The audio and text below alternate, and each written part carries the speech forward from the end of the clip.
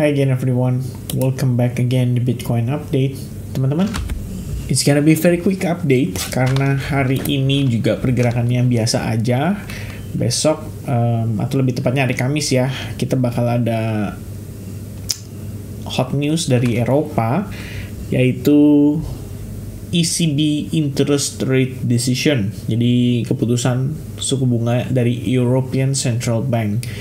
Kelihatannya dia red card, priced in udah kelihatan dari euronya ya. Jadi kalau teman-teman ngecek euro tuh udah drop banget guys sejak 2-3 hari terakhir dan masih terus turun. Jadi kelihatannya memang priced in ya. Jadi orang udah anticipate tentang kondisi tersebut. Apa dampaknya pada market crypto? ya suntikan likuiditas guys ingat suku bunga lebih rendah artinya biaya pinjaman lebih murah itu gampangnya ya. Yang lebih kompleksnya ada. Tapi ya kita anggaplah ini sebagai satu bentuk dukungan terhadap global liquidity. Jadi Europe kemudian UK, kemudian uh, eh, US yang sekarang udah mulai proses pemangkasan suku bunga yang menandakan mereka akan memberikan stimulus pada ekonominya dan kondisi tersebut akan baik sekali untuk market. Tapi bukan secara langsung melainkan ke depannya gitu ya. Nah guys terus malamnya core retail sales biasa aja, nggak terlalu signifikan banget.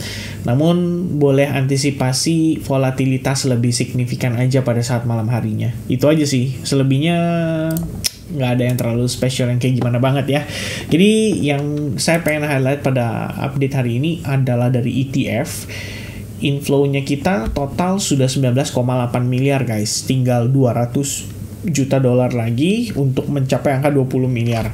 Kemarin dan dua hari lalu itu inflow gede-gedean bahkan tiga hari terakhir saya bisa bilang ya mulai dari tanggal 11 tepatnya di hari Jumat kemudian tanggal 14 Senin itu masuk sekitar 555 juta dolar dan kemarin banget nggak tahu kenapa ceritanya ya BlackRock kenapa bisa telat gitu loh. Ketika Fidelity dua hari sebelumnya atau hari Senin belanja borong 239 juta dolar the next day-nya baru tuh BlackRock-nya belanja 288,8 juta dolar sementara Fidelity nyumbangnya turun jadi 35 juta dolar ya tapi in the end inflow dalam satu hari 371 juta still big and like I said before demand dari ETF masih steady uh, walaupun ini bukan institusi ya bukan duit-duit institusinya tapi kan mereka adalah klien dari institusi tersebut.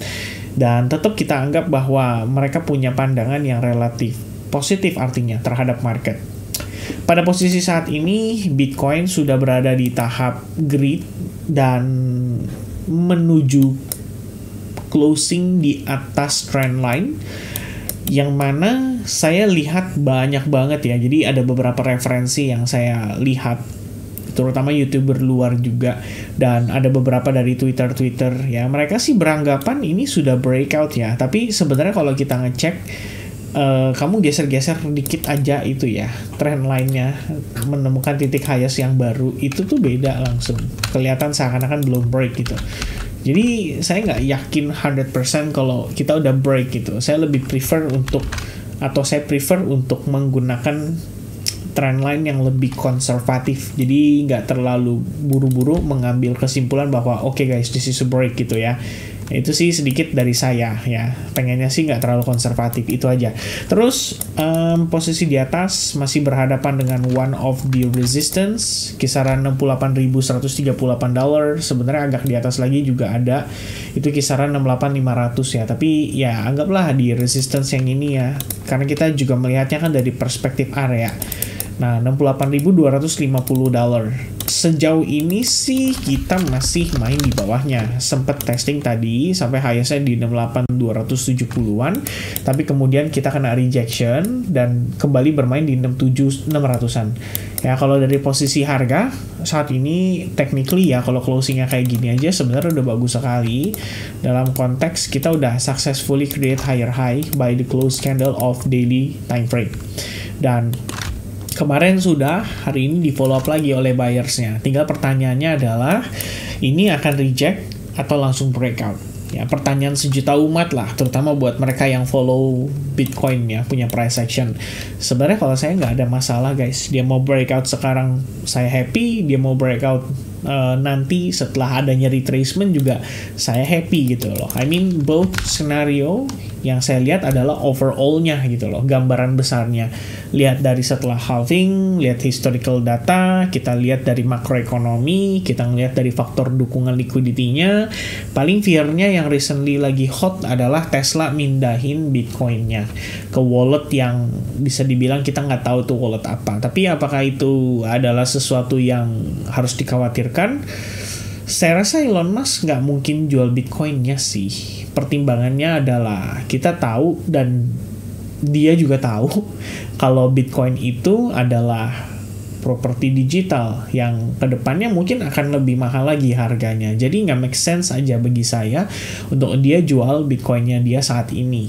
Unless BU banget ya, atau ya saya nggak tahu lah apa yang dia tahu ya. Tapi at least menurut saya kurang make sense aja gitu. Apalagi Elon Musk sekelas Elon Musk kan dia pinter ya. Pasti dia juga doing research dong. Minimal dia tahu bagaimana harga Bitcoin bisa sampai ke 67 ribu dolar itu minimal dia tahu dia ngerti cara kerjanya.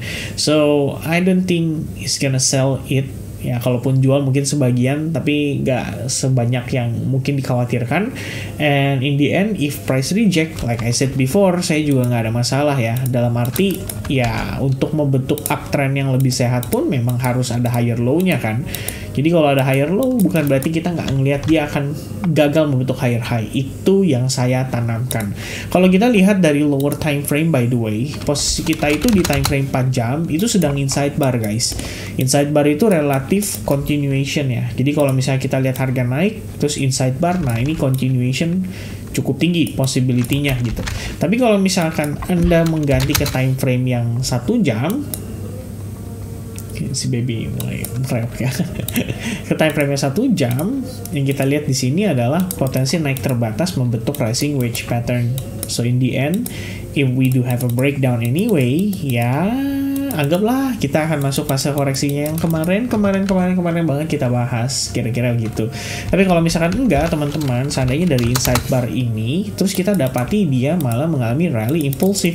Ini juga saya nggak kaget karena inside bar ini merepresentasikan kondisi market itu sedang dalam keadaan steady di level tersebut.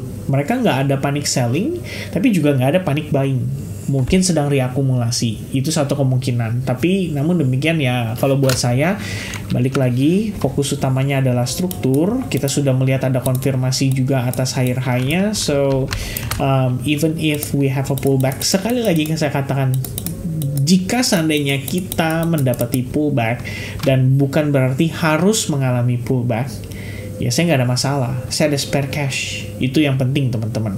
Tapi kalau misalkan ternyata dia langsung nanjak fine.